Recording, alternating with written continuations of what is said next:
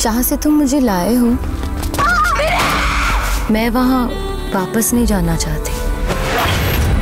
जहाँ भी ले जा रही हो, वहाँ पहुँचना नहीं चाहती। पर ये रास्ता, ये बहुत अच्छा है। मैं चाहती हूँ कि ये रास्ता कभी खत्म ना हो।